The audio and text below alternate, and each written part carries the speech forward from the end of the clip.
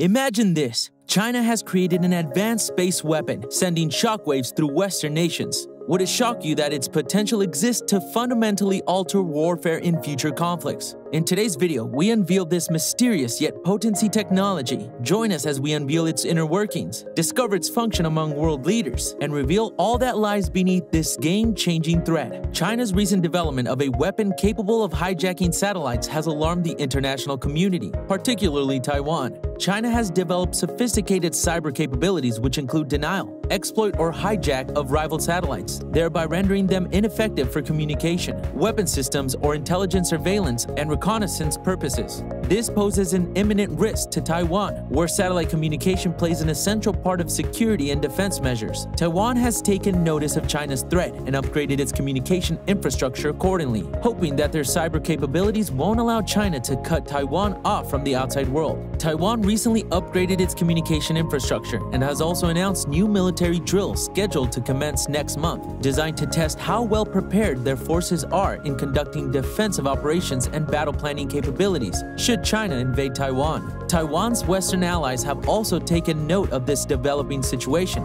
and conducted military drills with regional partners, such as US conducting drills with Philippines recently, its largest annual military exercise to date. Military analysts speculate that should China invade Taiwan, Bosco Island may serve as its front line as it provides access to Taiwan's eastern coastline and thus may serve as an entryway into mainland Taiwan from its east. China's recent military provocations around Taiwan have raised significant alarm, particularly its fighter jet exercises and deployment of its aircraft carrier Shandong in the area. To respond effectively, the US is increasing its presence there while conducting more drills with partners. Situation is currently volatile and China and Taiwan face an imminent military conflict, making preparation essential to their safety and that of their western allies who support and ensure its protection. All parties involved should work collaboratively towards de-escalating tension in this volatile region to guarantee all participants' well-being and ensure peace. Taiwan has closely observed China's military buildup and recent military provocations, such as fighter jet drills and deployment of an aircraft carrier called Shandong in its region. To counteract such moves, Taiwan is taking measures to strengthen its own capabilities in order to defend against potential attacks against it. Taiwan has taken steps to upgrade its communication infrastructure in response to potential cyber attacks from China, in part by strengthening its defenses against potential attacks by installing an upgraded network that should withstand such attacks while keeping Taiwan connected to the outside world. Furthermore, they've announced new military drills designed designed to assess their preparedness, as well as increase defensive capacities and capabilities. Taiwan has also sought to strengthen its relationships with Western allies. The US in particular has shown its solidarity for Taiwan by sending high-ranking officials over to visit, showing their dedication and conducting more military drills with regional partners as a response to Chinese military provocation. Japan has also shown increasing support for Taiwan, sending its defense minister to visit and discuss security cooperation agreements. Furthermore, Britain has expressed its solidarity with Taiwan while calling for peaceful solutions to any conflicts that might arise in its vicinity. Taiwan has also undertaken its own military buildup in an attempt to deter potential Chinese attacks investing in advanced weapon systems including missiles and submarines, as well as increasing defense spending. Taiwan forces also participate in joint exercises with partner military organizations so as to enhance interoperability and combat readiness. Taiwan continues its efforts to defend itself, yet tension between Taiwan and China persists, and there remains the possibility of military confrontation. Therefore, it is vital that the international community work collaboratively towards preventing an escalation in violence in this region and assuring safety and and security for all involved. An amicable resolution must occur, and Taiwan seeks support from allies as necessary in defending its sovereignty and protecting its population. Now, ready for more on China's recent military provocations? We're diving deeper into the latest incidents and exploring the strategies at play. What's driving these actions, and how are they impacting global stability? Hold on tight, because we'll be analyzing the potential consequences and discussing the options other nations have to respond. China's recent military provocation, including fighter jet drills and deployment of its aircraft carrier Shandong in the region have resulted in increased military cooperation between the US and its regional allies, and to demonstrate readiness against potential attacks and to deter Beijing from taking aggressive actions against them. Drills conducted between allies demonstrate this readiness. As part of its response to China's military provocation, the US has conducted joint military exercises with regional partners. Japan and South Korea, two close allies, are receiving additional defense training as they build stronger defense capabilities through interoperability. Plus, drills have taken place with Philippines countries like this as part of our demonstration that our commitment remains firm to their security.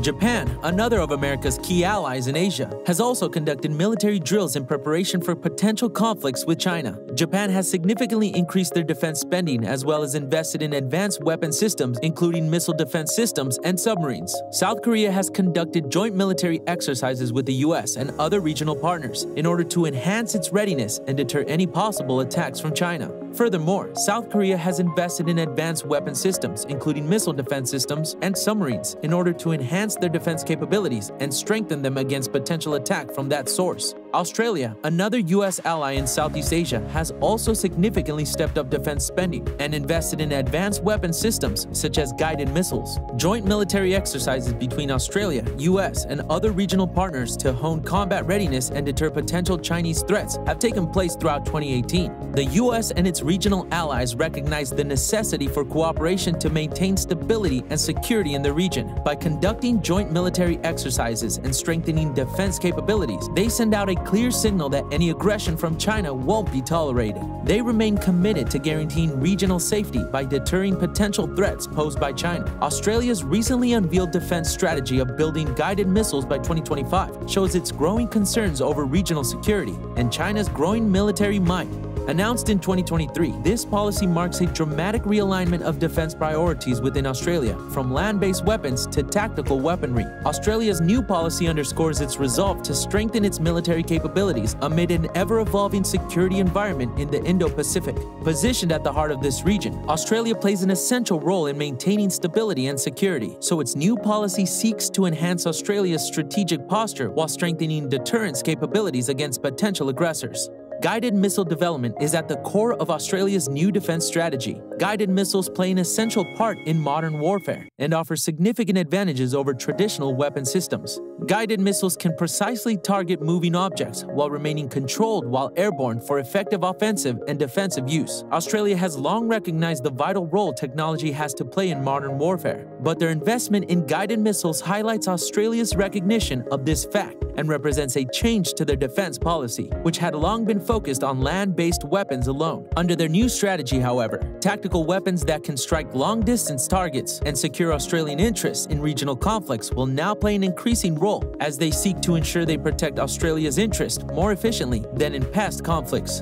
Australia has committed 1.6 billion for an ambitious guided missile investment program, representing an enormous financial commitment in terms of research and development costs, as well as new technologies acquired. Australia sees this effort as part of their push toward modernizing their military capability upgrade process. Now, let's see what is Europe's take and what it means for the Chinese. Will they stand united or splinter in the face of this cosmic threat? Europe's reaction analyzed their strategic options and discussed the potential ripple effects in global space policies. European Union crackdown on big tech companies has gained significant steam in recent years. To this end, they've identified 19 big tech firms they believe bear additional responsibility in making the internet safer. To facilitate this initiative, they implemented an act called the Digital Services Act that mandates risk management practices such as external inner auditing, sharing of data with relevant authorities slash researchers, as well as adopting code of conducts prior to August 2023 for these 19 firms, along with fighting disinformation by actively protecting users against it. European Commissioner Thierry Breton has highlighted Facebook in particular as needing immediate action and repairs were required. Twitter and TikTok will also undergo stress tests, which will test their system stability during high stress scenarios. Their performance under stress may determine its long term viability. Non-compliance with digital service acts may bring severe fines.